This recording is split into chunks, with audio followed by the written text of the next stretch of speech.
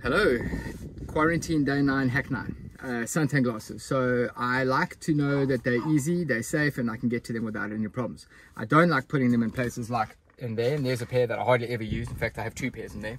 Uh, I don't like putting them in there because they uh, fall down from corrugation, uh, hand sanitizer, use it. Um, so what I did is this. I got some elastic band, which is pretty wide band. I use it, uh, I put the sunglasses inside there. It means that when I'm looking and I'm not using them, I can see through the windshield without having any problems.